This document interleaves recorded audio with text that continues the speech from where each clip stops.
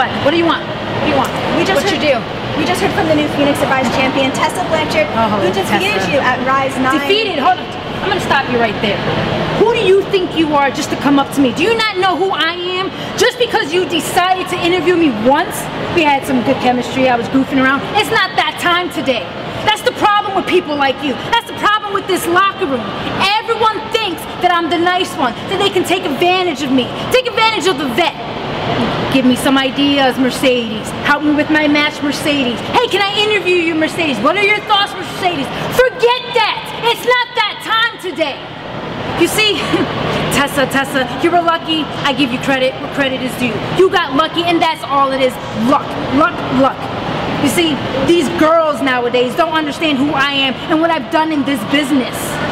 They disrespect me by thinking they can take me on, thinking that I'm just a washed out vet. No, I'm still in my prime. These girls want to challenge Mercedes left and right because they want to make a name for themselves. I'll make a name for them, all right?